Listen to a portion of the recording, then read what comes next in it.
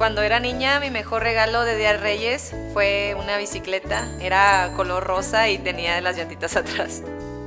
El mejor regalo de Día de Reyes serían unos guantes.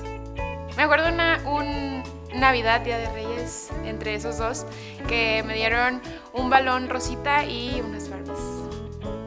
Mi mejor regalo fueron unos patines cuando estaba muy chiquita. Igual eh, le dieron a mis hermanas y pues nos fuimos a patinar.